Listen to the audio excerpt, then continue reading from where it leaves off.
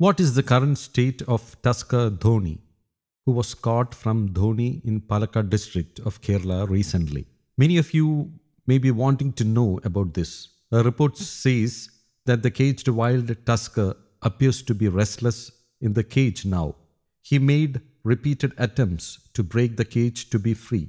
He hits the cage with his front and hind legs to break it and uses his trunk to remove the supporting poles of the cage made of eucalyptus logs.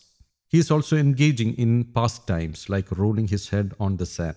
Madhavan and Manikandan, mahouts at the top slip Kozhikamithi elephant camp, have arrived to tame Dhoni.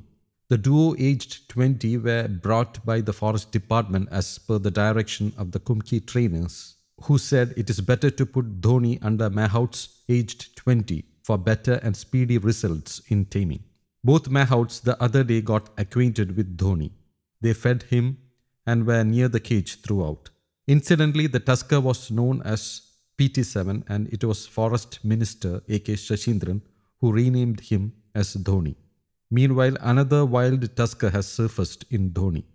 The tusker came down to the farmland at Chulipadam in Chelekkad. Local people said that he destroyed crops, including coconut and arecanut trees. The new tusker came the day after Dhoni was caged. Maybe he came looking for Dhoni. The current plan of the forest department is to train Dhoni to become a Kumki elephant.